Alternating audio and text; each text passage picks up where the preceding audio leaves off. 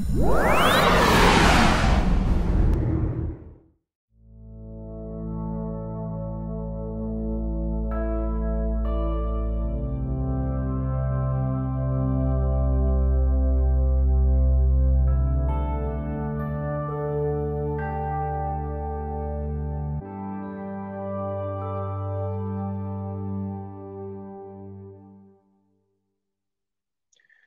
добрый вечер, уважаемые участники. Мы рады вас приветствовать на очередной лекции нашего онлайн-курса «Финоугры России в 20 веке. Язык, права человека, власть». Спасибо всем тем, кто нашел время и возможность присоединиться сегодня к нашей лекции. Кратко напомню, это Мафун Академия, образовательная программа Молодежной ассоциации финно-угорских народов – мы разработали такой комплексный курс по истории финоугров России 20 века, где обсуждаем разные вопросы, связанные с тем, как э, глобальные преобразования 20 века, какие-то глобальные процессы, какое они имели влияние на финно-угорские народы России и какое они получили преломление – для финно-угорских народов России. Наш курс состоит из э, условных двух тематических блоков, такого исторического и тематического, где мы будем смотреть на финно-угров России 20 века под углом разных дисциплин э, социологии, демографии, лингвистики. И сейчас, по сути, у нас э, такая как бы итоговая лекция, которая подводит некий итог такой исторической части. Мы будем говорить о 90-х, нулевых годах. Мы будем говорить о национальных движениях, о том небольшом периоде а, национального ренессанса после там, 60 лет советской власти, когда а, финно-угры снова получили возможность а, сформулировать свои общественные требования, сформировать какую-то повестку, с которой выйти к власти, пытаться организовать диалог с властью и так далее. И сегодня у нас совместная такая лекция из двух частей. У нас два докладчика. Темы связанные между собой, но тем не менее самостоятельные. Первая тема – это национальные движения финно-угорских народов 90-х, там, конца 80-х, 90-х, начала нулевых годов. Вторая тема – это всемирные финно-угорские конгрессы примерно этого же периода. Наш первый докладчик – это историк, общественный деятель и советник общества Финаукрия Як Прозес.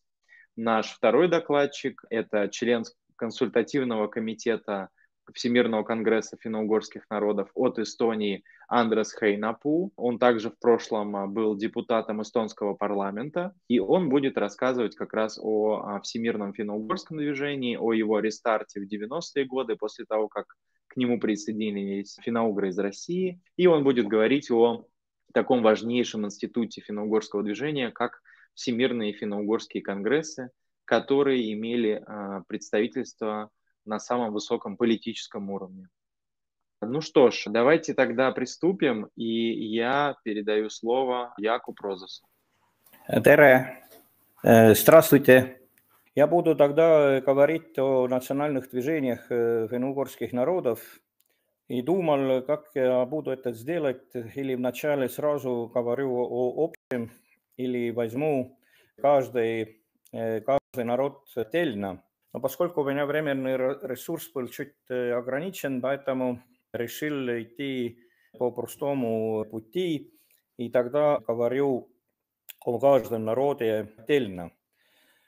Вначале думал так, что буду просто говорить о 80-х или 90-х э, годах, но э, все-таки так, что каждый исторический процесс или момент имеет свои корни.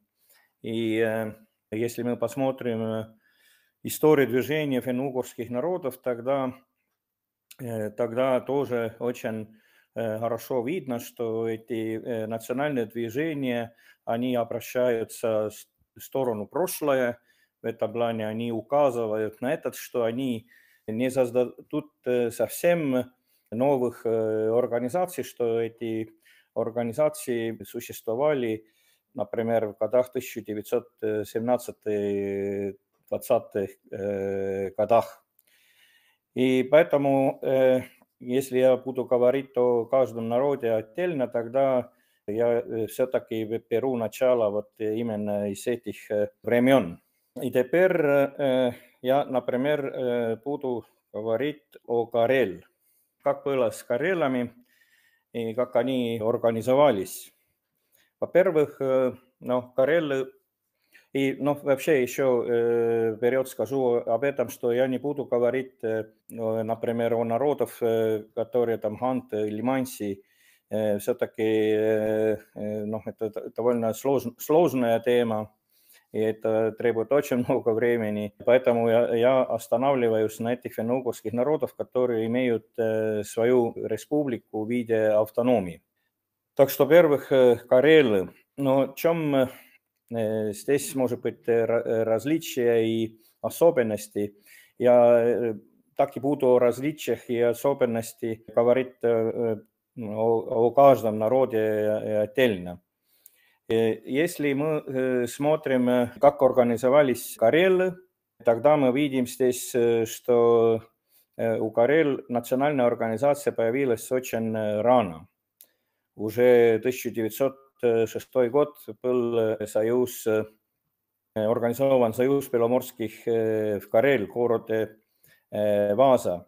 И, безусловно, надо сказать об этом, что здесь может быть, ну, может быть, возникнет вопрос, а действительно были ли Карелы готовы самостоятельно создавать свою национальную организацию.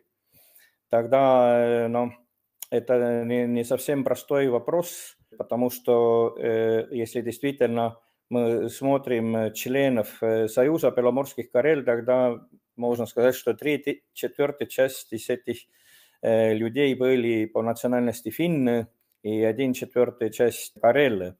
Но особенность были, был в этом, что если у других финно народов в начале национального движения были, ну, например, люди, которые священники, например, или учителя земских э, школ, тогда у Карелов очень э, интересно, что эти были такие люди, которые занимались, э, ну, типа как коробники, их назывались, торговцы, которые торговали, эстонском языке есть слово «харюск», типа такой. И, конечно, эти люди, ну, имели определенный такой капитал, и помощи финнов организовались довольно так, ну, скажем, четко. И, конечно, самые важные вопросы, что был, были у них, эти были вопросы, связанные с образованием, но там были важные вопросы, связанные с религией и, конечно, ну, националь, национальных, национального языка.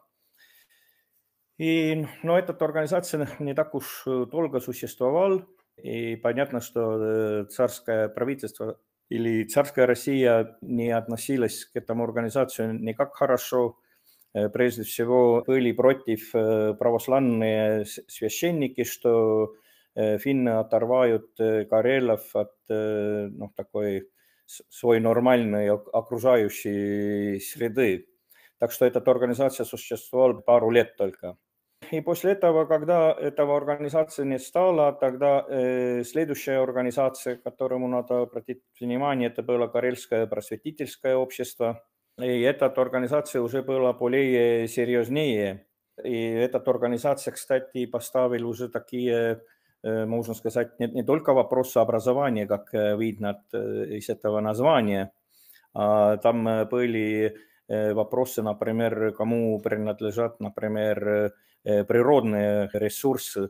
Кроме этого, они представили определенный такой проект Конституции даже Карелии, так что этот, э, эта организация имела довольно такие ну, скажем, такие радикальные цели и задачи. И Карелия, конечно, добились к этому, что, может быть, э, другие народы не добились, например, создания или э, формирование временного правительства, карельское временное правительство Вухтуа, и э, которого, кстати, финское государство поддерживало. Так что, конечно, возникнет вопрос, э, здесь вопрос, но, наверное, они не могли этого всего делать, если не существовало финского национального движения или финского, финского государства, да, которого независимость которого признал РСФСР.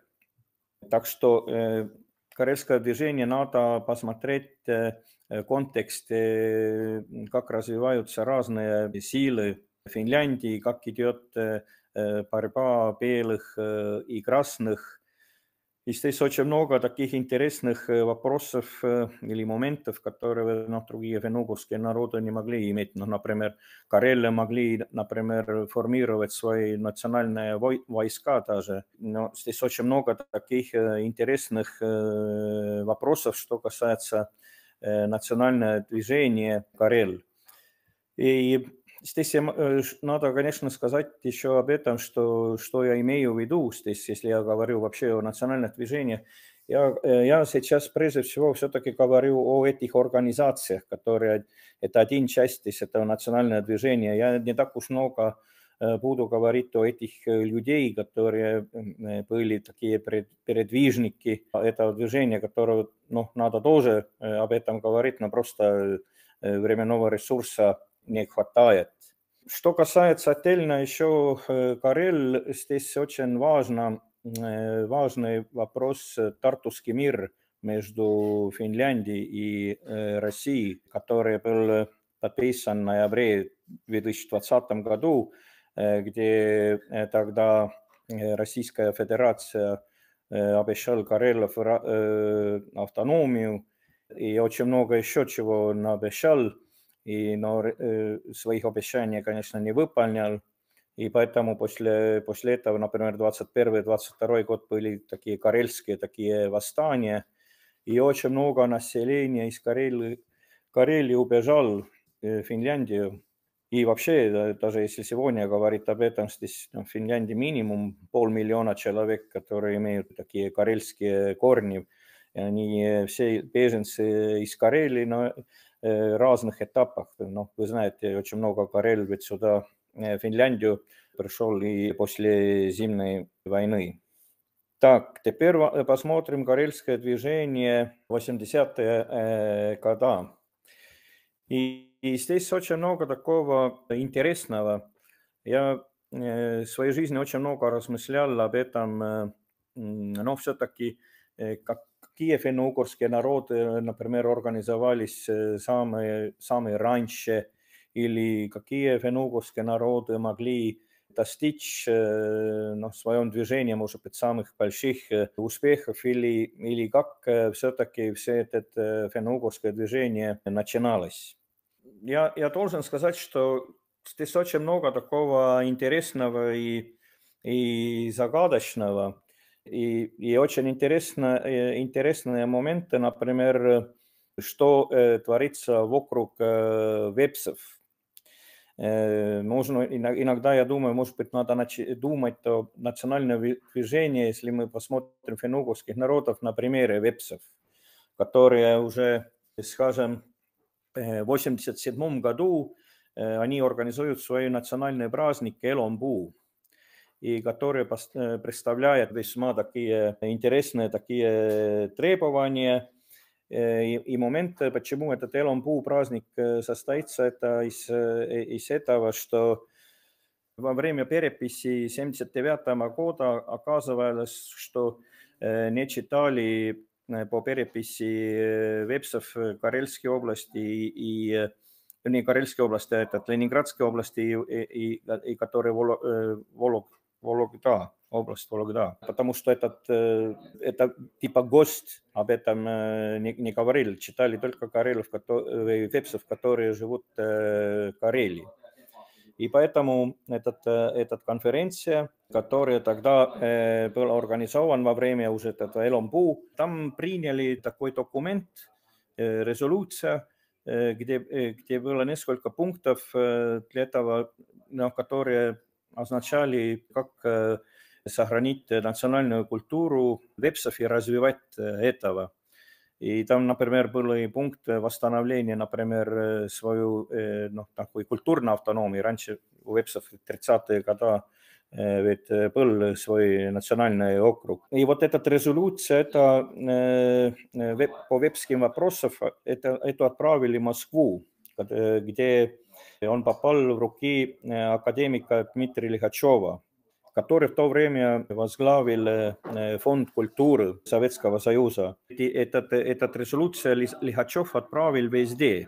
Этот попал и Совет министров РС, РСФСР, и, и тогда этот, э, этот вопрос э, отправили тогда для решения в Карелию.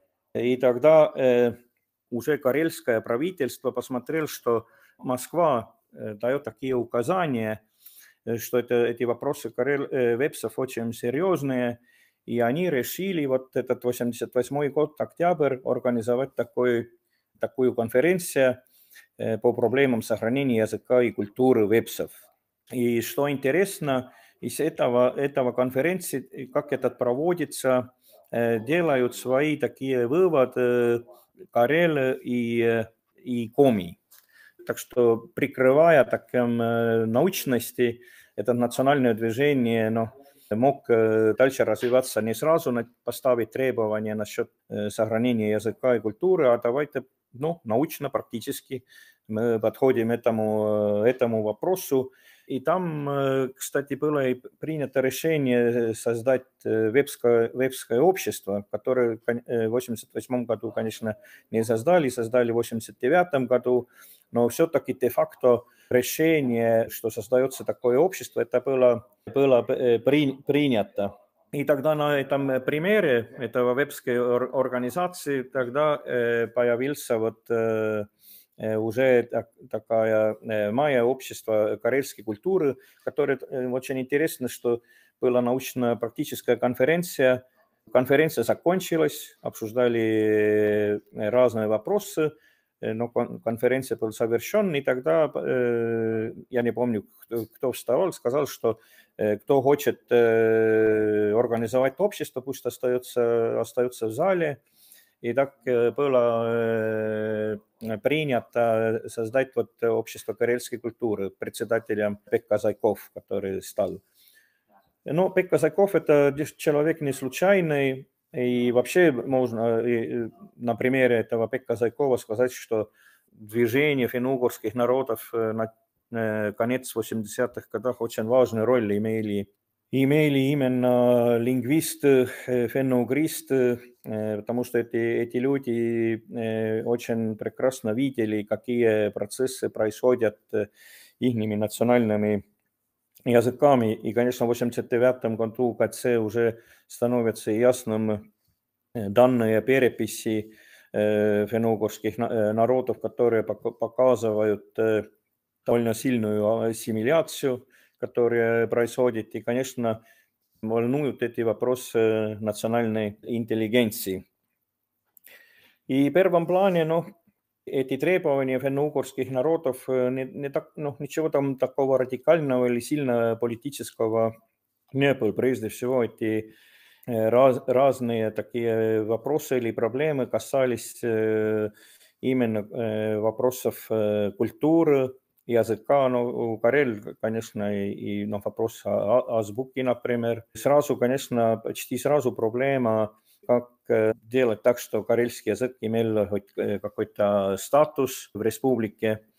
Чуть э, позднее появятся ну, такие более радикальные, например, вопросы, вопросы об, например, суверенитете, да, Тогда в 1991 году появится э, организация движения карельского народа, но которая уже более такая радикальная, можно сказать, организация, которая очень интересна, которая, может быть, не так уж много э, поднял вопросов э, сохранения карельского языка. Они считали, что карельский язык – это бессмысленно с этим делом заняться. Очень много, многие из них говорили об этом, что надо переходить на, на, на финский э, язык. И там очень много уже таких более политизированных таких вопросов, что касается более автономии, до этого даже, чтобы полностью отделиться, например, РФССР угрозы, что они хотят, что Карелия соединилась, например, Финляндии. Такие ну, довольно такие радикальные, скажем, взгляды. Конечно, там и, и гражданство карельское, здесь ну, такие, такие требования. И, и конечно, на этот, этом фоне радикализировалось и в общем все это карельское такое движение. И, например, э, что это общество культуры, которое было только культура, и которое организовало, ну, например, лекции или праздники, ну, особенно праздники, тогда э, они тоже поняли, что один народ – это не только культура. Поэтому э, они переименовали организацию «Союз карельского э, народа» и взяли очень такой э, однозначный курс к этому, чтобы созывать конгресс карельского или ну, съезд карельского народа, который был организован июнь 91 год. Но там поднялись очень такие разные вопросы. Ну, например, один из очень важных вопросов был, ну, наверное, как взять примере Коми, что, что, например, парламент Карелии признал что действительно этот съезд имел особенный статус. Например, и там, конечно, ну, такие и пункты, что касается сотрудничества фенугорскими народами, например, даже до этого, что гражданство было бы карельское, Э, там довольно много таких документов, которые э, взяты, кстати, э, от первого съезда Коми народа, которыми потом останавливаюсь, но, но вообще об этом можно много говорить, но Коми, конечно, были первые, которые могли созывать конгресс своего народа. И, конечно, июнь 91 год это было время особенное, после этого был августовый буч, и был определенный хаос, можно сказать. Но, но все равно, что этот съезд принял, очень мало было учтено. И поэтому взяли курс, чтобы созывать первый съезд финно-угорских народов Карелии. Это означает вепсов Карелии, ингерманских финнов. И там ну, было принято очень много очень разных интересных решений – и боль была тоже у них, noh, эти больные моменты у всех были где-то разные, где-то отдельные. Например, общие больные вопросы были, например, создание национальных районов в Карелии или, или вопросы, что касается, например, опять природных ресурсов, или вопросов, которые Карелия очень сильно занимались, чтобы быть представлены, например, в местном парламенте. Проблема была в том, что в законодательном собрании в Карелии было очень мало финнов, карелов и, и вепсов. Это не соответствовало совсем к этому процентуальности этих народов в республике. Так что там только несколько, несколько депутатов, и поэтому, может быть, Карелия отличается в этом, что, что требовал очень сильно пропорционального представительства пар, парламенте. Ну и там, ну, раз, что касается отдельных вопросов, например, ну, там важный, важный вопрос был, например, вопрос реабилитации германских финнов, которого ингерманские финны требовали, и, Карелла и Вепсе тоже поддерживали, но, по-моему, ингерманские финны этого статуса так и не получили. Пойдем посмотрим тогда дальше. Коми-движение. Коми-движение тоже начинается 17-20-е года, но разница в том, что действительно Карелы были раньше, и в то время уже собирались коми, коми-коттер, это прежде всего тогда прежде всего организация культуры, образования. Но у Коми было очень сильное движение за Коми автономию.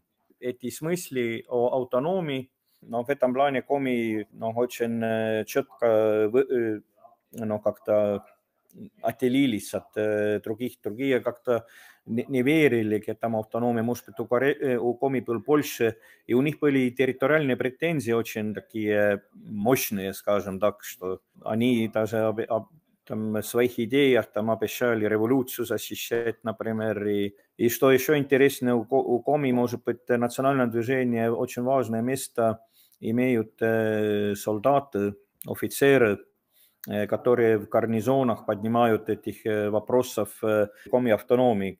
эти гарнизоны находятся не там где-то около Москвы, а эти гарнизоны находятся там в Пскове, например, даже Ревеле или Хельсингфорс, нынешний Хельсинки, или Ревель, нынешний Таллин. Так что эти солдаты, одна из таких сил. И, и второе, конечно, люди, православные священники, которые тоже такая критерия, которую можно здесь определить. Что касается теперь дальнейшего развития, тогда мы видим, что коми идут как Карелы, по проблемам коми языка и культуры. Опять это научно-практическая конференция. Но коми тоже обсуждают, что делать так же, как, как Карелы. И здесь, ну, я еще раз подчеркиваю, это именно можно видеть, как тесное сотрудничество идет между Карелией и, и Коми. Видимо, там были и исторические какие-то предпосылки, но это, это видно по документации, как они заимствуют друг друга.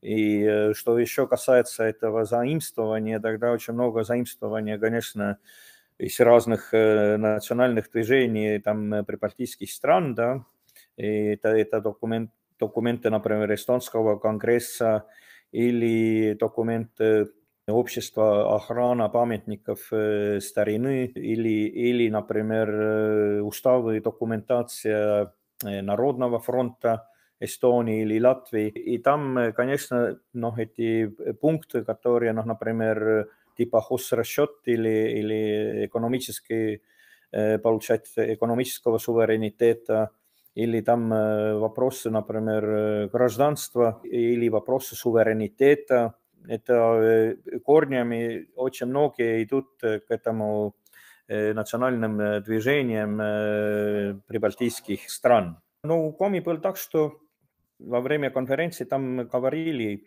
э, об этом, что, э, что надо создать комикотер, но не были готовы к этому, поэтому этот общество комикотер появится лишь в декабре.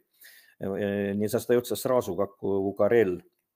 И здесь может быть немаловажно, что э, все-таки национальное движение, особенно Коми, э, я, может быть, даже подчеркивал бы, Э, наблюдает, какие процессы идут внутри ведущей политической стили страны, это Компартии. Как коммунистическая партия решает национальных вопросов. Можно сказать, что коммунистическая партия, несмотря на что некоторые там разногласия и так и далее, но принцип партия одобряет этому. И мало из того, noh, nagu Коми особенно заметно, что разные такие секретари Компартии, они ну, будут в главе этого национального движения, и, и они являются и организаторами первого съезда Коми народа, а также в Коми они правление. Так что это тоже очень немаловажный момент, что эти, эти национальные такие организации, они в основном они появятся все после сентябрьских пленумов Компартии РСФСР. Это очень хорошо, этот, можно сказать, заметно. И что еще очень интересно, что у всех национальных движений, может быть, что еще объединяет их, что довольно активно включается этот фонд культуры, о котором я говорил, Nõukogude kultuurifond очень много, в многих местах очень активно поддерживает национальное движение «Мемориал». И это тоже не, не, немаловажно. И еще, ну, что касается коми, а там многих фенугорских движений, очень важная тема – это зеленые вопросы. Этот зеленые вопросы, которые, может быть, такое, что касается ну, аваликустамine, это чтобы опубликуют разных материалов, которые, может быть, не нравятся там, официальным властям, они имеют свою такой зеленый напечаток. Это, это из-за этого, что этот Чернобыльская катастрофа, которая влияла и что поднялись позеленые вопросы, которые в Коми очень э, четко видится. Там, э, ну, например, Коми требует закрытия там ядерных полигонов и, и вопросов там нефти, газа и, и земляных ресурсов. И что очень важно, это первый съезд Коми народа, исторический момент, первый вообще э, там, э, и, и, если посмотреть других финно-угорских, э, не финно-угорских, а даже всех народов РСФСР, тогда коми впервые, которые созывают этот конгресс. И что еще, это тогда немаловажно, что коми единственный, который собирает внеочередный съезд коми народа ноябрь. Это означает этого, что национальное движение имело уже такую силу, что они могли и самостоятельно заниматься, то эти, э, все эти съезды собираются тогда, когда им э, дают э, власти деньги, чтобы собираться. Но это второй неочередный съезд, это, это такой съезд, который коми сами собирают эти деньги и могут принимать решения, как, как им кажется и, и в этом плане официальные власти Коми понимают, что это движение такое сильное, что надо э, учтить это мнение.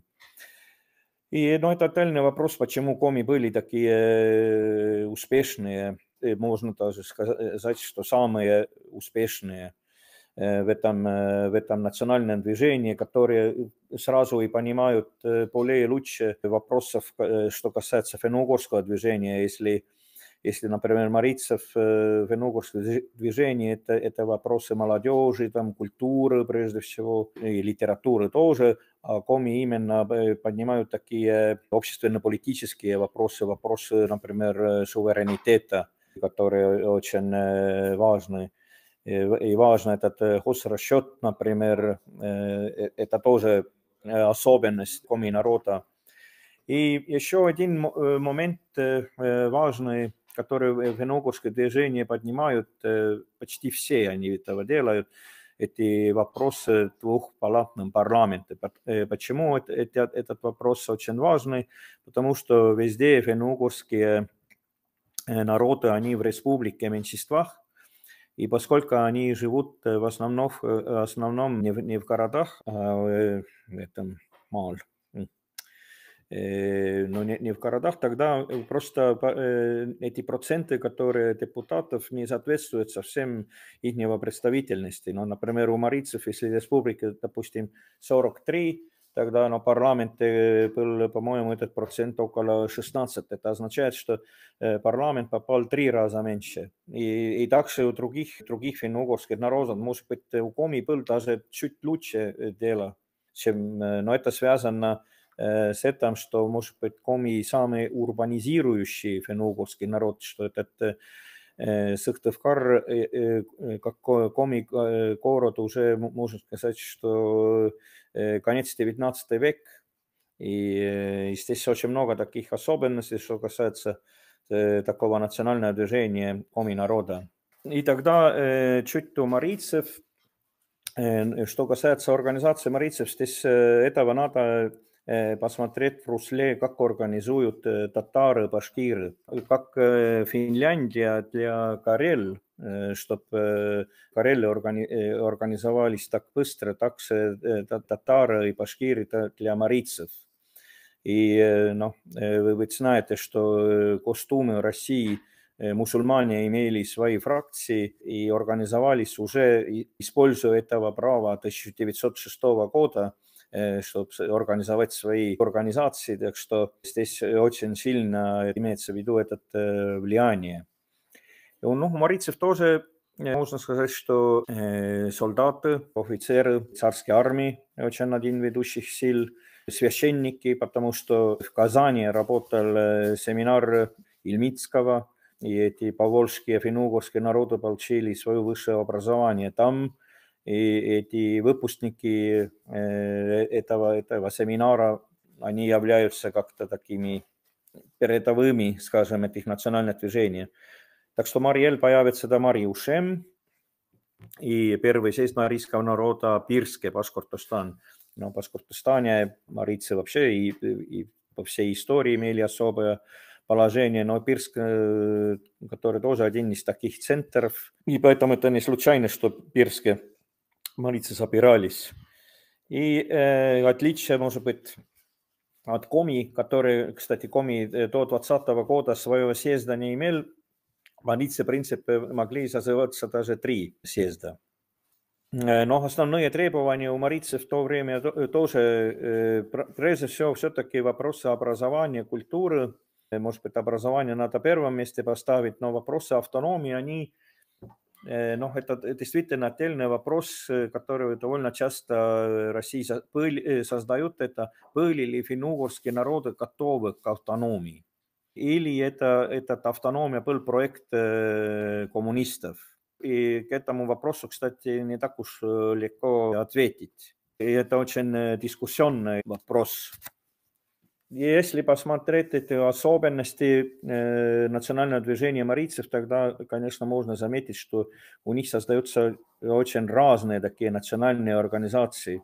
И внутри марийцев можно сказать, что такой конфликтность. Конфликтность тоже очень интересный момент у финно-угорских народов, что из этого одного такого общества или движения могут появиться второе и третье. Да? И, ну, такой, конечно, можно сказать, что ну, жаль, что такие расколы получились, но, но это нормально, что в государствах есть разные политические взгляды и интересы, так что здесь не надо видеть здесь, что это было ну, очень плохое. Ну, особенность у марийцев, что появится эта молодежная организация УВИ, которая уже очень рано регистрировалась в 1989 году. Но что ж здесь особенность? Особенность в том, что что эта организация создает прежде всего марийская интеллигенция, которая обучилась в Москве. И там в некоторых моментах тоже видно, что эти люди, которые обучались в Москве либо в Питере, они ну, такой один из таких ну, сил или моментов, которые начинают становятся впереди этих движений. Вот у марийцев тоже видно, что когда организуют этого УВИ, которые, которые там именно выпускники там московских университетов, и определенную роль играл комсомол. Комсомол по-разному действует, но Мариэле комсомол был этот организация, которая поддерживал этого УВИ. И УВИ очень интересно, что они потом помогают именно этого съезда Мари, Мариушем. И как вы видите, там Мариушеме был тоже уже в апреле видно, конфликты там были типа умеренные, которые сказали, что надо делать так, как коммунистическая партия указывает, а другие, которые были намерены очень, очень радикально. И вот это радикальное крыло тоже очень быстро выделилось, и, и Мариэль появилась организация Кугезем Ланде земля предков, которые поняли более резкие такие требования. Ну и Марицв – это отдельная роль, этот религиозный центр, Ошмари, Чи, Мари, язычники, которые организовали свою организацию. Потом появится такого же типа организация, может быть, у удмуртов, но у другие народы, конечно, этого своего национального религии не могли использовать. И что еще касается э, так, этого, этого движения марийцев, может быть, надо говорить об этом, который возникнет везде определенного такого национального конфликта, который э, возникнет. Эти национальные движения имели везде конфликт, прежде всего, русскими. Кстати, очень интересно, русскими демократами, прежде всего, которые не поняли этого, что финно-угорские народы в таком положении, что нужно предпринимать каких-то особенных шагов. Они были такие демократы, которые хотели решать вопросов элементарно путем, путем голосования. И Мариэль появится очень много таких конфликтов, ну, например, у коми, которые впервые могли, например, делать так, что коми язык стал государственным языком в 92 году уже. Марийцы тоже об этом этого хотели, но конфликт получился очень сильный, и, например, марийцы только, марийский язык стал государственным в 95 году. И что касается этого такого конфликтности с русскими, скажем так, было бы проще, это происходит и в Удмуртии очень э, сильно, но этого не наблюдается, например, у Коми или даже у Карель это так не наблюдается. Но здесь э, я смотрю, что время нажимает э, Трезди съезд марийского народа, который, почему я говорил об этом, о организации фенуговских народов 17-20 год, что марийцы не начинают это третий съезд именно, что они восстановили традицию съезда, потому что два съезда было марийских уже 17-18 год, поэтому они организовали этот свой третий съезд.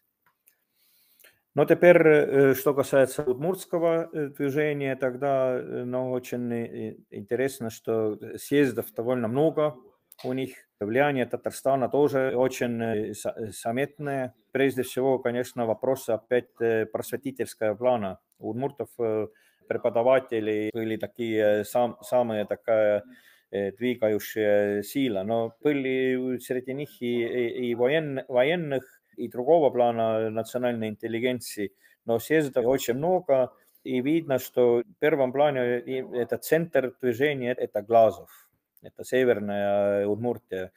Хотя бы как-то думается, что, может быть, предпосылок было бы в юге больше, а потом это движение идет юг, да, и Елабуга, это нынешний Татарстан, или Нырья тоже, по-моему, Татарстан. Так что нынешней татари это происходит такие собрания удмуртского народа. Этого периода, ну, требования, это, как я говорил, они просветительского плана, но и автономия чуть позднее. И что касается 80-х, 90-х годах, тогда ну, очень интересно, чем, может быть, удмурты отличаются от других, что техническая интеллигенция имеет весьма такой роль. Видите, уже 88 год, январь, Удмуртский клуб – это вообще уникум, может быть, национальных движений финно-угорских народов, что почти половина членов, они являются инженерами. И врачи, например, которые там у других участвуют. Это означает, что Ижевске как городе формируется такая национальная интеллигенция, которая уже, скажем, второе поколение национальной интеллигенции. И тогда после этого, ну, типичный опять декабрь организуется этот Демен, и потом, ну, очень важно опять молодежная организация, так что видим, что у марийцев и удмуртов одинаково молодежные организации появились, и съезд удмуртского народа тогда в 91 году. Иду последнему, последнее тогда Мордва, но я могу сказать, что это в определенном плане, как парадокс, мордовский народ очень слабо организуется. Самый большой народ, но самой большом территории и везде сильном меньшинстве, и поэтому ну, нормально организоваться никак не могут. И, видимо, эта трусификация такое дошло так глубоко, что ну, просто национальный идентитет очень слабый. И языковом плане национальный идентитет слабый. И, и что касается организационных способностей. Ну, что, что касается вообще организационных способностей, это есть очень большая проблема у финно-угорских народов, которые, ну, например, не могут никак так организоваться, что эти национальные движения имели бы, например, своих представительств там, в местных парламентах или, или, или идеи, которые, или решения, которые принимают конгрессы, что они пошли народ. Кажется так, что как будто съезды фенугорских народов, они живут свою жизнь, а люди в деревнях или везде живут свою жизнь.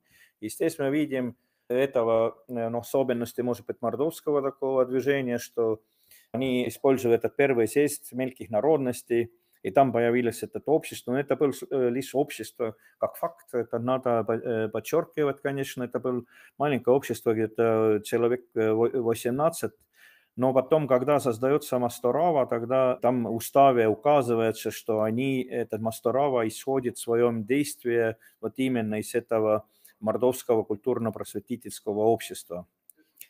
Теперь, что касается 80-х годах, тогда ну, такой появится общественный центр Вельмама, который существует только несколько месяцев, его, сейчас этого организации нет. Но что интересно, что этот Вельмама, эстонское слово, Это тоже означает таассünd или возрождение. Так что этот э, слово имеет в эстонском языке свой, свое место. И тогда общество родного мордовского языка 89 год, которые там прежде всего лингвисты Мордовского университета в Авгале Цыганкином, например, организуют очень такие умеренные, там только лекции такие и ничего такого общественно-политических моментов там не было. И они только остались заниматься ну, курсами языка и, и, и лингвистическими разными вопросами популяризации языка. Других требований нет. Общество Мастурова – это уже полее уже такой, который принимал уже такие общественно-политические вопросы, например, вопрос, что эрзянский и мокшанский язык должны быть государственными, а также тоже требования, например, двухпалатного парламента.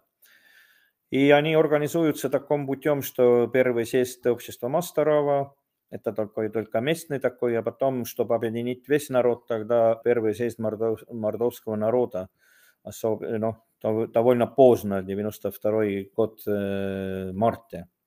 И вроде бы у меня, у меня здесь, э, здесь э, все. Я очень коротко пошел этот путь в своем лекции по разным э, организациям и, э, может быть, э, подчеркивал этого, что этих организаций объединяет и что разделяет не так уж много не, не говорил о этих вопросов, что касается фину, сотрудничества между финно-угорскими народами. Об этом будет говорить Андрес. Но я хочу сказать, что что касается сотрудничества финно-угорскими народами, которые имеют государственность, это означает Финляндия, Эстония и Венгрия, все финно-угорские организации в начале 90-х поднимают эти, эти вопросы. Так что они, все эти Масторава или, или это Мариушем, или Коми, или удмуртские организации, они в своих резолюциях везде подчеркивают, э, э, что финно-угорское сотрудничество очень, э, очень нужно. И на этом фоне, конечно, и собирается первый конгресс или первый съезд финно-угорских народов России мая 92 года Ижевске, и потом после этого созывается первый всемирный конгресс финно-угорских народов Республики Коми. И если смотреть эту документацию, которую там первый съезд финно-угорских народов России принимает, э, что там тоже вот вопрос именно, что эти языки были бы государственные, что э, э, вопросы суверенитета, что был бы суверенитет, э, что республики могли больше использовать природными ресурсами, и налоговыми доходами. Везде очень важный вопрос, вопрос миграции, потому что финно-угорские народы так и меньшинстве, и некоторые народы очень быстрое время стали меньшинствами, например, в Карелии или Коми. Так что эти, эти были такие общие э, проблемы, которые финно-угорские народы думали совместно поставить усилия и, и решать. И, и это, э, конечно, очень логично. Если, э, если маленькие народы держатся вместе, тогда они имеют более возможностей влиять на, на большие процессы и добиваться более больших прав. И это, может быть, можно было видеть более больше, например, если, если взять пример Республики Коми. Вот, пожалуй, все. Есть ли э, вопросы? Большое. Тогда перейдем к вопросам. Итак, вопрос такой. Был вопрос, можно ли почитать Карельскую конституцию. Это речь шла о ну, дореволюционном движении или э, послереволюционном движении, ну, то есть о начале 20 века. Вы упоминали Конституцию. Там э, Карелы очень э, молодцы, особенно что касается Института языка и литературы и истории. Что касается национального движения Карел, э, там они опубликовали два очень мощных э, тома этих движений, и там опубликована вся документация. Это огромный труд, эти такие очень емкие такие тома, ну, я сказал бы, страниц там где-то 600. И, и также там опубликованы разные статьи, которые такие ключевые статьи, о которых можно было, может быть, я мог бы и больше говорить, но, например, ведь что разбудил финно-угорское движение в 80-е годы, там очень много играли роль статьи, например, которые финно-угорские писатели писали, допустим, в газетах, например, литературная газета РСФСР. Эти статьи, в то время, может быть, эта пресса или газета, инфогазета, этот мог консолидировать э, народа. Так что там, там опубликованы все эти документы вопрос, э, была, какая связь была между карельским национальным движением и финским движением новых активистов? Тоже речь вот о 20-х годах получается. Ну, это непосредственный, непосредственная связь ну, там даже то, то военного, например, здесь никакого секрета нету, что там и, и финские добровольцы, например, принимали участие в этих, например, восстаниях. Карельский вопрос вообще очень сложный, потому что там надо учитывать, что э, как будто существовали две Карелии. Одна Карелия – это Вена Карьяла, это Северная Карелия, и другая, как э, Аунус Карелия или Олонец Карелия. И где этот Аунус или Олонец, они более такие приверженцы, скажем, сотрудничества большевиками или, ну, скажем, русскими, можно даже сказать а северные они более влияние Финляндии. И здесь еще очень интересные вмешательства, можно сказать, или интересы, например, Антанта, например, формирование Карельского корпуса и, например, ну, может быть, для финографов это интересно, что там, какой роли играли, например, ирландцы. Ирландцы, которые тоже, например, ведь такой народ, который, ну, давление от Великобритании постоянно чувствовал. Ну, это, это очень интересная тема. Так что это влияние было очень разностороннее. Был вопрос, было ли э, какое-то движение у тверских карел в это время, в 20-е годы? Национальных организаций не было, но, но, но например, центром э, Лихославии э, был, были национальные районы, Кстати, национальные районы были у вепсов тоже Ленинградской области. Короткое время, но все глохнулось в этих 30-х э, годах, эти репрессии. Так что короткое время, 3-4 года существовали такие национальные районы. Такой, такой же был и у Тверских Карел. В национальном движении появилась идея о том, что Эрзиане и Макшане разные нации должны иметь разные национальные автономии. И э, такой же вопрос примерно, э, вопрос про мордовское движение, оно формировалось как единое мордовское или отдельно как эрзианское, отдельно макшанское? Но было мордовское национальное движение. Это по отдельности Ну, э, прежде всего, конечно, в начале этого движения были эрзиане, но они этого эрзианства сильно не подчеркивали. Э, поэтому съезд называется Мордовского, но там в скобках идет эрзианского Мукшанского. Так. Там были сильные лидеры, которые могли объединить э, обе, обе группы. Изменения идут 93 год, и тогда начинаем начинается больше и больше говорить об этом, э, о эрзианском и мокшатском, о эрзианских э, э, особенностях. И, ну и с другой стороны опять идет движение к этому, что надо соединить два языка, надо, может быть, делать примеры Эстонии, что в Эстонии тоже был южноэстонский и северноэстонский, видите, стал этот один язык, один народ, типа такой но этого тоже не получилось. В национальном плане, что интересно, что Мокшане нормально и не органи организовались. Им было достаточно этого мордовского, потому что они имели хорошие позиции в республике руководящих органах. Этот вопросы власти где-то играют очень важный вопрос. Так что у финно-угорских народов может быть это движение, что защищать свои интересы не всегда в первом плане. Может, иногда где-то они вопросы власти доминирующие или становятся в первом плане. И этого, этого видно, как ни странно, в республике Мордовия особенно. У Мокшан появится единственная национальная организация, это Союз мокшанских женщин Юртава в 1995 году.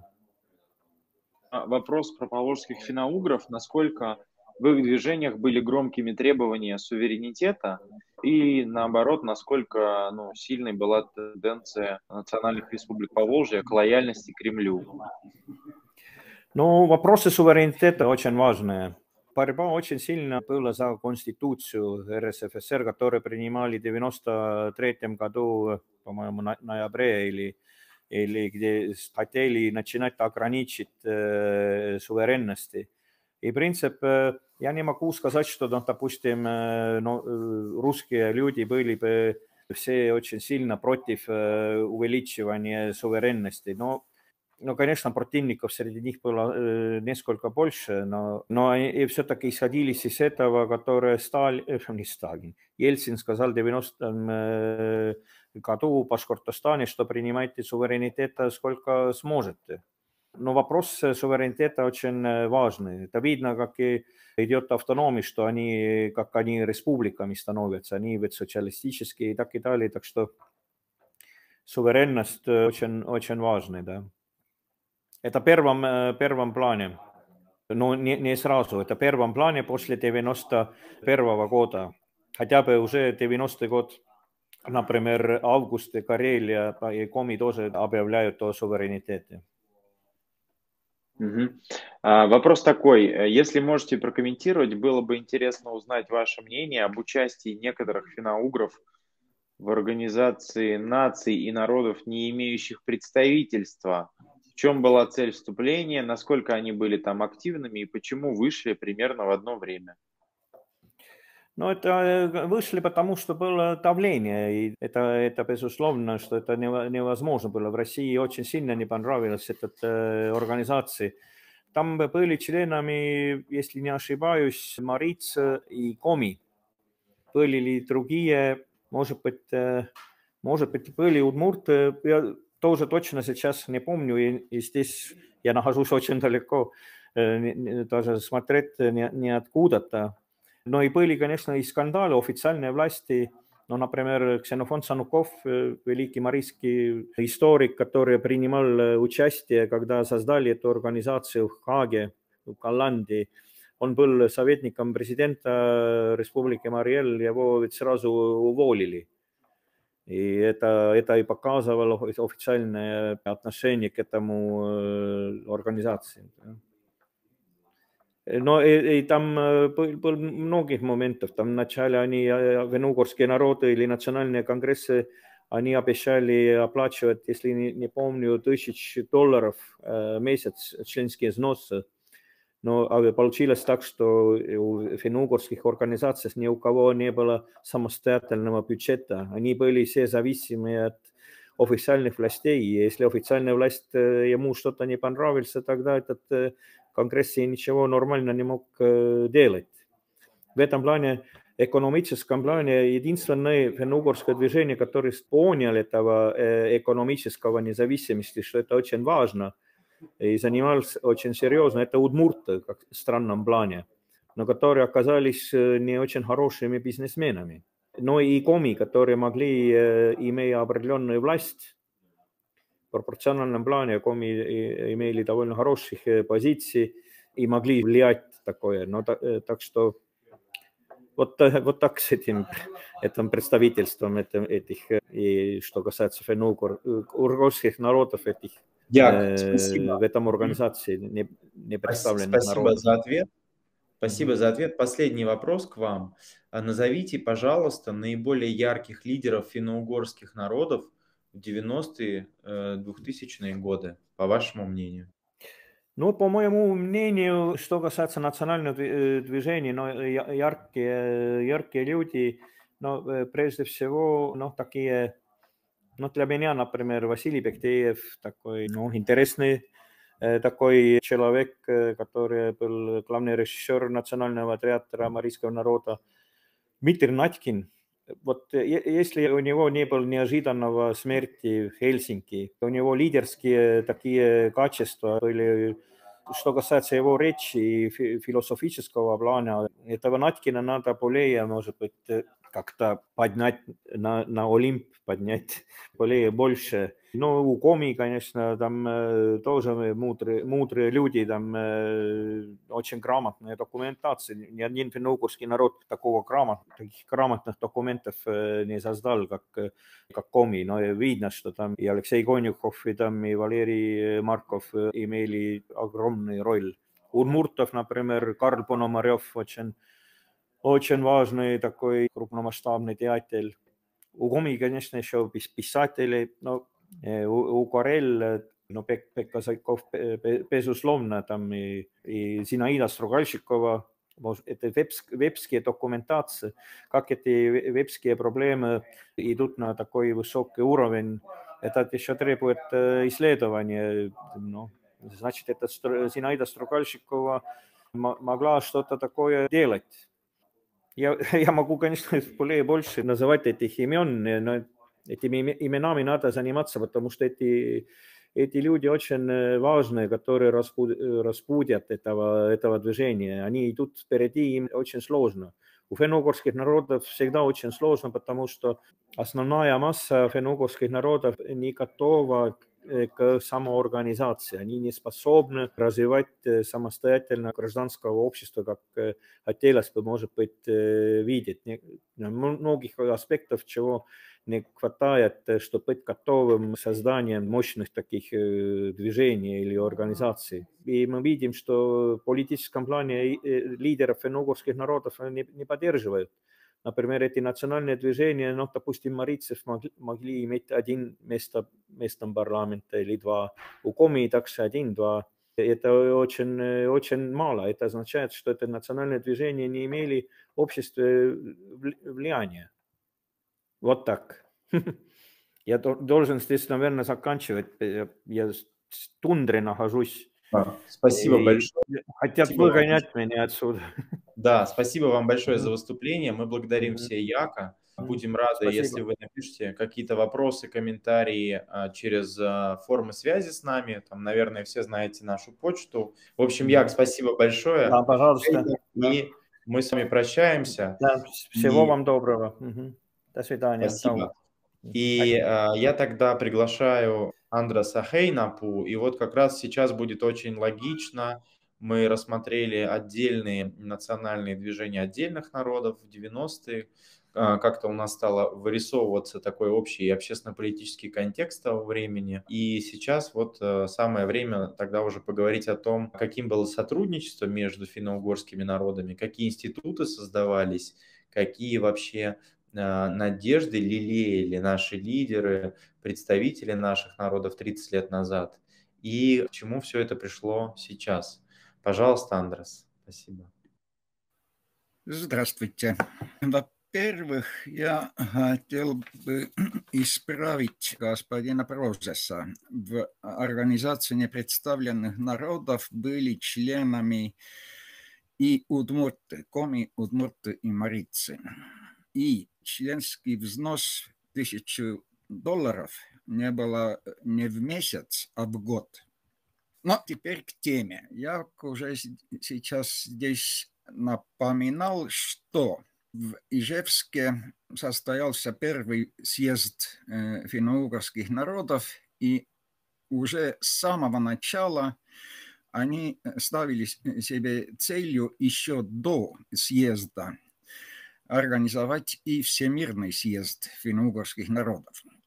И что важно, здесь в списке, что случилось до первого конгресса, мы видим здесь, что до этого, как первый съезд решил провести первый Всемирный конгресс, до этого появилось постановление Президиума Верховного Совета Коми АССР про этот съезд.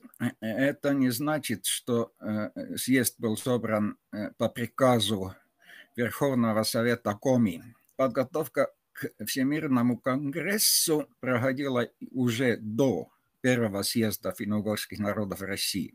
И коми были э, такими успешными, что они э, смогли организовать для себя поддержку со стороны республики и финансовую и так далее. До этого Конгресса некоторые оппозиционные марицы и удмурты хотели провести этот конгресс, Всемирный конгресс не в Сыктывкаре, а в Казани. Но им это не удалось, потому что ну, не было поддержки финансовой, и у этих оппозиционеров не было столько сил, чтобы справиться с организацией этого.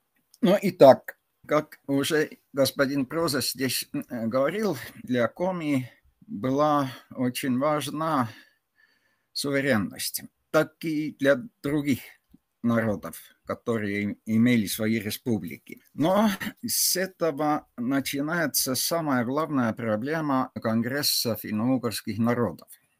Принципе, здесь были у разных сторон разные интересы. Очень важно, важные деятели для Конгресса были Юрий Спиридонов, председатель Президиума Верховного Совета Коми СССР Валерий Петрович Марков и посол э, Венгрии в Москве Герд Нановский. У них у каждого были свои интересы. Герд Нановский надеялся на прямые экономические связи между Венгрией и Коми-республикой. Потом, конечно, у всех финно были э, свои национальные интересы – и, конечно, у Спиридонова была идея, что именно это международный, этот международный конгресс финно-угорских народов может как-то позитивно повлиять на суверенность Коми-республики.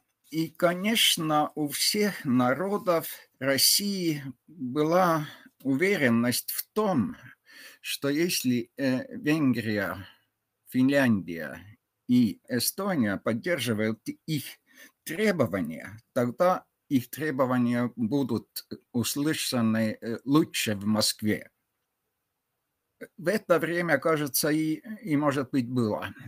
Э, я здесь говорил, что Ельцин сказал, что берите суверенность, сколько вам, вам понадобится. Итак, разные делегации пришли туда с разными повестками. Организаторами были подготовлены, был подготовлен, ух, извиняюсь, долго не говорил по-русски, подготовлен э, проект резолюции, э, которого на Конгрессе не принимали. С этого вышло обращение к парламентам и правительствам Российской Федерации и финно-угорских республик, которую подписали участники Конгресса из Российской Федерации, потому что зарубежные гости не могли подписывать такой детальный документ, который занимается только российскими делами, делами российских финно-угров. Второй документ был обращение к съезду народных депутатов Российской Федерации, которую подписали делегаты представительных и исполнительных органов власти финно-угорских э, республик и некоторых областей, в которых жили финно-угры, плюс из автономных округов. Но самым важным, о чем мы все-таки смогли договориться, это была декларация, декларация об основных принципах, целях и задачах сотрудничества финно-угорского мира. Здесь на этом слайде вы видите ссылки на все документы трех первых конгрессов. Поскольку у меня мало времени, я о дальнейших конгрессах говорить не буду. Итак, эта декларация стала основой всех конгрессов э, финно-угорских народов. И что еще важно, там решили создать консультативный комитет финно-угорских народов. Это, по-моему, уникальнейший орган, как и Конгресс по своему принципу. В этом консультативном комитете имеют право голоса, одинаковую, э, одинаковое право голоса все народы, несмотря на то, имеют ли они государственность, имеют ли они какую-то автономию, или живут они э, дисперсно во многих регионах. Но, например, у самов трех стран, четырех, Швеция, Норвегия, Финляндия и Россия, один голос, одно представительство. У марийцев, несмотря на то, где они живут, один голос. И у ливов, которых несколько десятков, тоже один голос, который равный э, с голосом венгров. В принципе, такая система работала и в Ассоциации финно-угорских народов России в то время. Так что это не было никакое новшество, но в международном плане это стало, по-моему, уникальным. Я не, не знаю никакой другой такой организации, которая построена по этому же принципу. Но, конечно, хотели создать какой-то парламентарный союз, куда вошли бы депутаты и местных, то есть республиканских парламентов, и государственных, и так далее. С этого тоже ничего не вышло. Но создавалась традиция конгрессов, которая жила довольно долго. Э, важность на самом деле э, этого первого конгресса была именно в том, что люди смогли встречаться. И, по-моему, это, это самая важная черта всех конгрессов, которые были. И последнего Тартуского, когда люди встречались заочно. Тогда решили, что второй конгресс будет в Венгрии, в Будапеште – и в связи с этим э, венгры создали свою специальную организацию для конгрессов. В Сыктывкаре представили венгров Всемирный союз венгров. Теперь до сих пор существует организация, э, Венгерская национальная организация Всемирных конгрессов финно-угорских народов.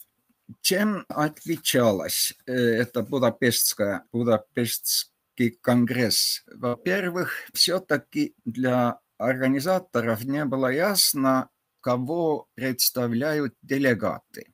Представляют ли они финно-угорские республики или финно-угорские народы. Но потом к концу Конгресса стало ясно, что все-таки народы там представлены.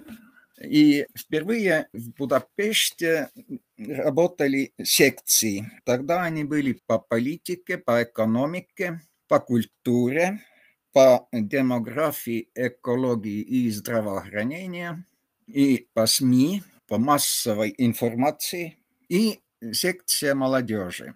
Потом такой секции уже не было, лишь на конгрессе в Хельсинки была во время конгресса состоялся и Конгресс Молодежной ассоциации финно-угорских народов.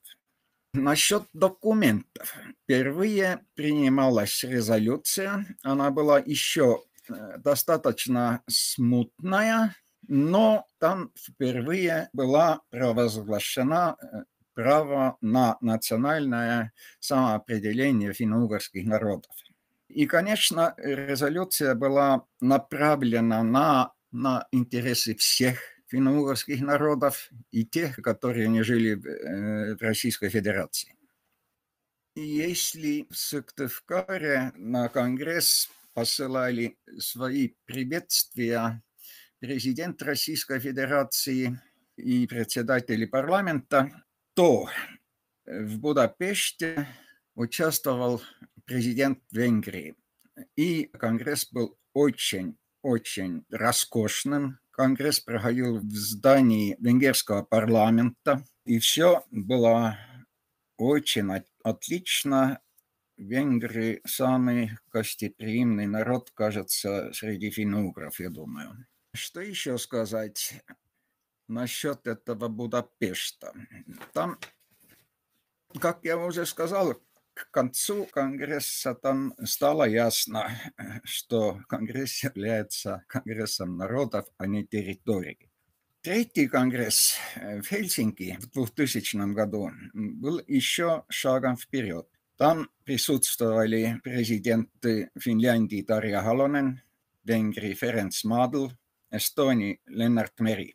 С этого конгресса президенты тех трех стран всегда присутствовали на Конгрессе. Насчет резолюции, там делали большой шаг вперед.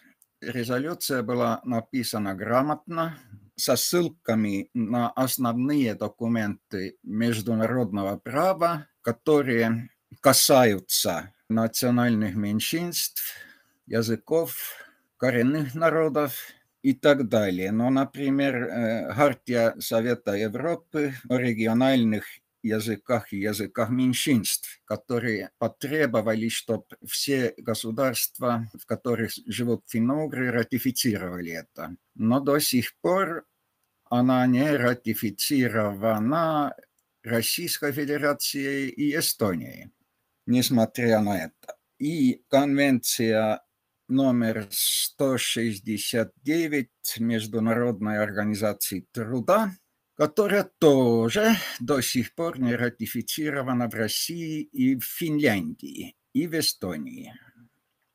И так далее. Было сделано задание э, консультативному комитету участвовать в подготовке декларации ООН по правам коренных народов.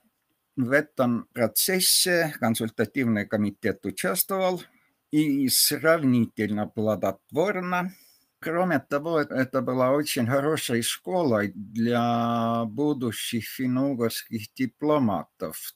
Например, господин Цикарев, который сейчас уже долгое время служит Организации Объединенных Наций. И возобновили День родственных народов в этой декларации, которая празднуется в субботу третьей недели октября. По секциям осталась политика, культура, образование, экология и здравоохранение вместе и медиа и информатика. Секции были в общем подготовлены получше, чем раньше, и документы секции были, но по делу, особенно по медиа информатике. Итак, Ой, сколько у меня время? Мало. Но сейчас обобщенно я могу сказать, что э, в принципе, в принципе в это время и консультативный комитет, и конгрессы стали именно к Хельсинскому конгрессу приобрести свой формат и свои функции. Ну, например, в, кон в консультативном комитете э, люди встречались, обсуждали всякие повседневные вопросы тоже, потому что члены консультативного комитета были а в основном те же, которые были и членами исполкома Афуна. И поэтому они обсуждали там и свои проблемы. Потому что у Афуна не было финансов, чтобы собраться и тогда и эти дела э, были обсуждены на заседаниях консультативного комитета. Потом, когда перестал работать фонд финно-угорских народов, я думал, что Як Прозас э, говорит и про фонд, и про Афон побольше, и поэтому да, я не успею. Ну вот, когда фонд прекратил свое существование, тогда, например, обсуди, обсуждали проведение финно-угорских фольклорных фестивалей, где в каких районах кто и как и будет. Но всякие другие практические вопросы взаимодействия и взаимоотношений финно-угорских народов. И, наконец, я хочу сказать, что самая важная функция все-таки всяких конгрессов была встреча людей и беседы в кулуарах. Как я уже сказал, в принципе, эти международные документы, ратификацию которых э, каждый съезд, э, каждый конгресс финно-угорских народов потребовал, они еще не ратифицированы. И если они ратифицированы, то, несмотря на наши конгрессы, так что если смотреть на резолюции, то, по-моему, практическая польза от них очень невелика. Вот, спасибо. Теперь есть, кажется, время на вопросы. Вопросы? Итак, есть вопрос. Как вы думаете, насколько распространены среди финно-угорских обывателей, российских, зарубежных, то есть не активистов, идеи о едином финно-угорском мире и связях между родственными народами и вообще понимание о родственности между финно-угорскими народами? Очень сложный вопрос насчет э, финно-угров в России. Я сейчас ничего сказать не могу, потому что положение неизвестное для меня. Но в Эстонии большинство эстонцев не интересуется родственными связями с финно-уграми. Но эта часть, для которых родство с финно-угорскими народами важна, эта часть, по-моему, больше, э, чем Финляндии или Венгрии. В Финляндии тоже есть, но это можно, например, наблюдать на Днях родственных народов в Эстонии. Очень много мероприятий, очень много людей ходит на них и так далее. То же самое, почти то же самое в Финляндии. Но венгры, по-моему, как сказать, большинство венгров про это родство и не знает ничего. Так что они дружат э, с тюрками больше, ну и так далее. А какие перспективы у финно-угорских конгрессов и какими должны быть финно-угорские конгрессы? Задает уча- участник вопрос. По моему личному мнению, формат всемирных конгрессов финно-угорских народов пережил свое время и не актуален. Теперь насчет последних конгрессов, как я уже сказал, это, это политическое измерение, но та надежда, что вот эстонцы, финны и венгры приносят какую-то свободу финно-угорским народам России, это более чем наивно. Но э, конкретное сотрудничество сейчас было бы целесообразно направить на мелкие, но важные вещи. Но, например, самым успешным из секций конгрессов был секция по медиа и информатике, уже начиная с Хельсинки. Там э, сложились некоторые контакты и сложилось сотрудничество. Но это сотрудничество, эту, эту сотрудничество можно продолжать и без конгрессов, и вне конгресса. И она остается так, так есть. Или по обучению родному языку, есть общество учителей родных языков, или по этнографии, или по все равно где, э, все равно как. Я думаю, что среди, э, среди специалистов это сотрудничество сейчас более плодотворно. Словно говоря, а, вот Конгресс финно-угроведов – это жизнеспособная такая а, форма объединения усилий, да, а вот такие финно-угорские всемирные конгрессы, на ваш взгляд, сейчас уже не соответствующие реалиям времени формат? Конечно. Угу. А можно от себя вопрос я задам? Я вот наткнулся, когда готовился к нашему мероприятию, на ряд публикаций начала 90-х, в частности в удмуртской прессе, причем ну, не только в удмуртской национальной, но и в региональной прессе Удмуртии. И вот, например, в статье 93 -го года тогдашний президент Удмуртки Неша Михаил Шишкин пишет а, об итогах финно-угорского сотрудничества. Я позволю себе процитировать небольшой отрывок – а вас попрошу прокомментировать, что э, с этими структурами стало, э, каковы были результаты их деятельности, если вы знаете, и как бы почему эти инициативы не были продолжены. Итак, отрывок. За короткий период нам удалось не только организационно сплотить культурные и экономические связи, но и сформировать экономические и хозяйственные структуры. Э, дальше указываются структуры. Среди них транснациональная страховая компания «Финаугрия», Финно-Угорский торговый дом. На очереди внегосударственный пенсионный фонд и банковская сеть. Назначение их – оказать содействие в переходе к рыночным отношениям. План действий намечен на этот год. В него вошли не только традиционные мероприятия, но и новые в области спорта, развития различных деловых связей и так далее. Вот конец цитаты. Прокомментируйте, пожалуйста, что это за страховая компания «Финаугрия», что это за такой торговый дом и что за план создание какой-то банковской сети. С банковской сети не случилось ничего. Торговый дом и страховая компания обанкротились. И здесь нужно еще напомнить, что в Будапеште на конгрессе был секция по экономике.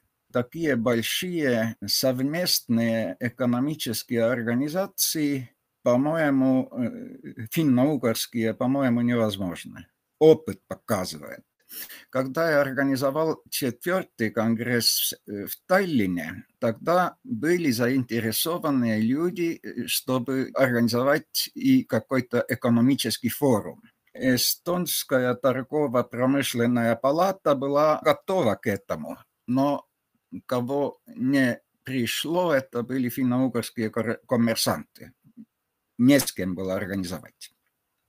Э, конечно, mm-hmm. какие-то экономические связи конкретные и поменьше, они, они, они в принципе были возможными. Но я не верю, что Финно-Угрия станет какой-то экономической сверхдержавой в этом мире. Вот такой вопрос. В чем причина ну, в вопросе сказано пассивности. Я, наверное, переформулирую, в чем причина невысокого интереса финнов и эстонцев к родственным народам. Ведь, казалось бы, те же турки более заинтересованы в международном тюркском сотрудничестве. Это очень сложный вопрос. Попытаюсь коротко сформулировать. У эстонцев, особенно э, тогда, в 90-е годы, когда э, весь мир открылся, интерес был, конечно, к Западу больше. У финнов очень длинные традиционные связи со Швецией. Они были когда-то а, одним и тем же государством. И культурные связи, и, и они, в принципе, в свою финскую культуру скопировали очень много из шведского. Это, кажется, самая важная причина. А что касается венгров, э, эстонец финна понимает, финн эстонца понимает, поэтому ясно, что мы родственные. Э, и Карелов, и Вепсов я понимаю, но венгр не понимает, что говорит Хант или Манси. Они далеки и э, культурно очень отделены. У них по культурной части действительно с Турцией больше общего, чем с ближайшими языковыми родственниками гантами.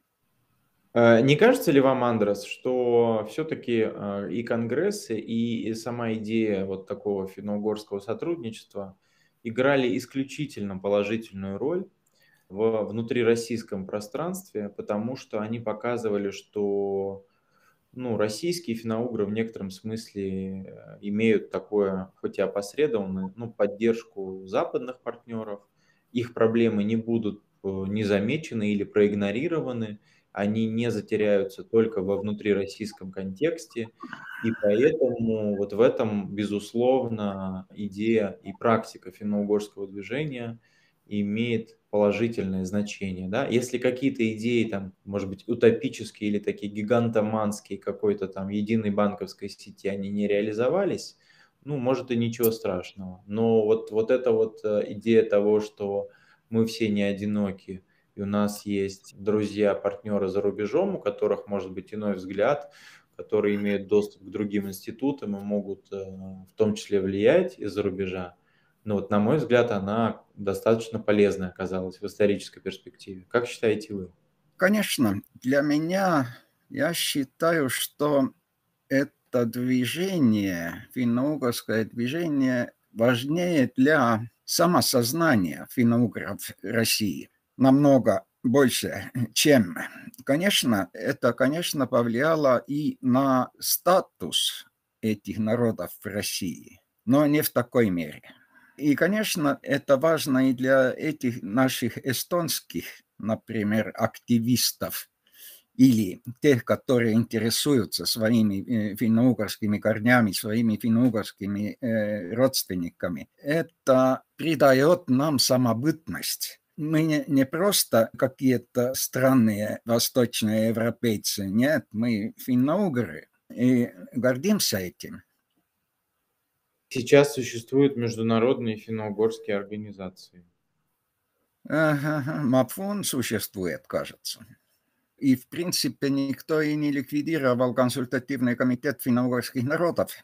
Потом есть некоторые, вот не знаю, существуют ли они э, сейчас уже, некоторые профессиональные организации. И некоторые организации, которые международные, но не охватывают всех народов.